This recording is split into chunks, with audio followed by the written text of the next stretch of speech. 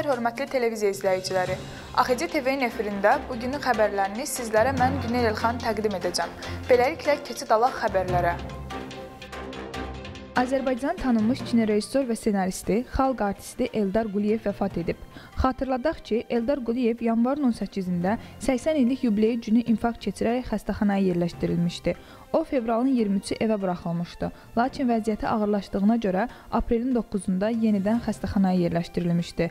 Allah rəhmət eləsin. Milli Dirçəliş Hərəkatı Partiyasının sədri Fərəc Quliyev AXC TV-nin Azad Meydan verilişinin növbəti qonağı olub. O təqdimatı olmuş Hərbi Qənimətlər Parkının vacibliyindən, erməni yalanlarından, Rusiya sülh məramlarının dərəbəyliyindən və bu tip məsələlər ətrafında danışıb. Verilişə ətraflı AXC TV-nin YouTube kanalında baxa bilərsiniz. Aprelin 7-də Abşeron rayonu Məmmədli kənd sakini 2008-ci il təvəllüdlü Nəbiyev Nihat Nicat oğlunun odlu silahdan açılan atəş nəticəsində baş nahiyəsindən xəsarət alması və aldığı xəsarətdən 15-i 4-cü ay 2021-ci il tarixində xəstəxanada ölməsi barədə rayon prokurorluğuna məlumat daxil olub.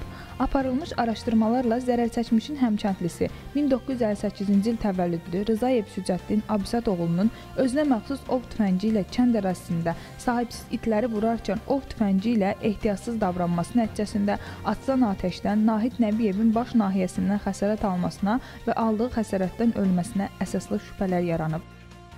Bu ilin yanvar-mart aylarında Azərbaycanda istehlak qiymətlərinin indeksi ötən ilin eyni dövrünə nisbətən 103.9% təşkil edib. Bu barədə Dövlət Statistika Komitəsinə istinadən xəbər veririk.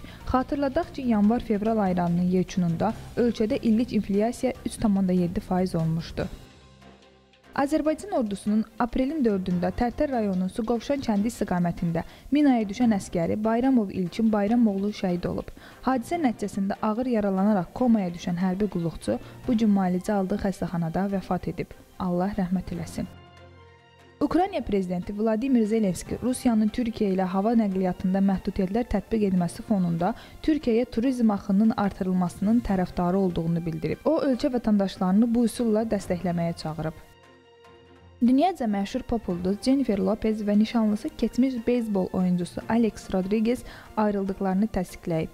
Cütlük mətbuata yaydığı ortaq açıqlamada münasibətlərinin bitdiyini elan edib.